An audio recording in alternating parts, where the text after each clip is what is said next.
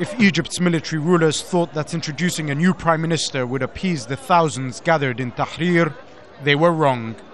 The crowds gathered here remained defiant.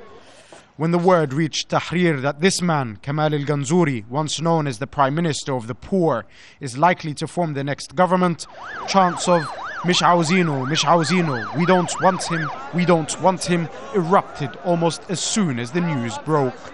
Aside from not wanting the military to rule the country any longer, many of those camped in Tahrir don't want another Mubarak era official in government. Oh my God, what bad news. Will we never end with the old guard?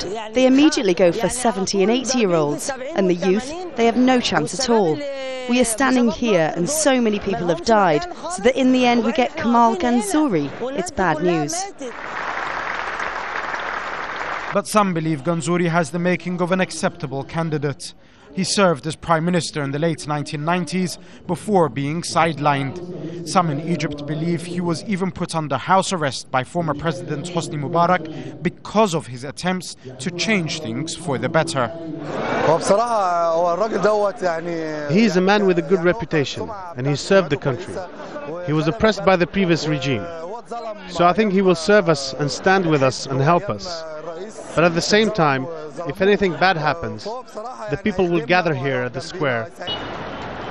As this latest episode between the country's military rulers and pro democracy protesters unfolds, Tahrir remains on lockdown. And with another million man march set to take place, it would appear that it is the protesters who have the momentum.